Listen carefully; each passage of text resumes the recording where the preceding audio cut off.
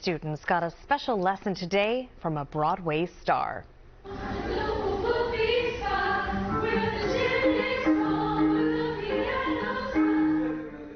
That's South Philly native James T. Lane teaching a dance class at Philadelphia Performing Arts School. Lane plays Billy Flynn in Chicago. The students went to New York yesterday to watch him perform on Broadway before he returned today to teach. Very cool. Well, thanks.